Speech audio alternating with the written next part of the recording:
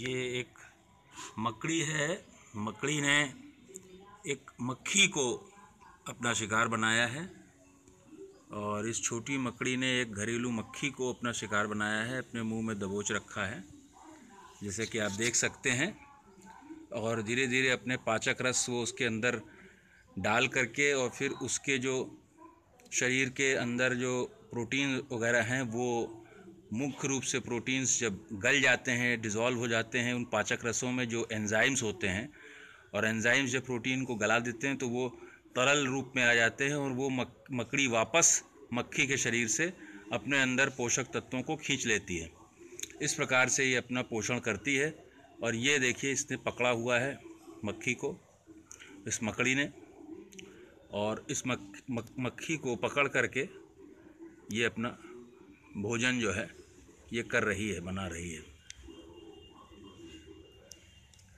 इस मकड़ी ने, इस मक्खी को पकड़ा हुआ है और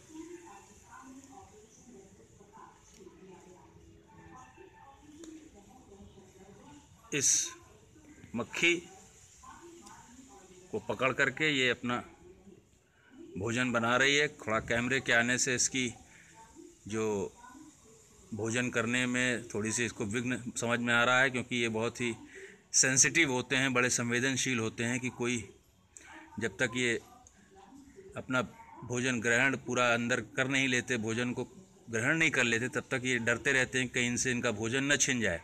तो ये बड़ी सतर्क भी है और लगातार मूवमेंट कर रही है कैमरे के आने से। ये देखिए, ये इसने मक्खी को पकड़ा हुआ और धीरे धीरे धीरे धीरे इसको ये इसके जो भी पोषक तत्व हैं, उनको ये चूस रही है। ये देखिए, इसने अपनी पोजीशन भी बदली। मक्खी जो आगे से थी, अब इसको पीछे वाला हिस्सा अपने मुँह में ले लिया है। जो सर वाला हिस्सा पहले इसके मुँह में था, अब वो इसने पलट करके इसके पीछे वाला हिस्सा अपने मुँह में ले लिया। अब वो हिस्सा भी ये, उसको भी ये, उसका भी भोजन करके उसको भी पोषक तत्व वहाँ से भी ये प्राप्त करने का प्रयास कर रही है ये मकड़ी।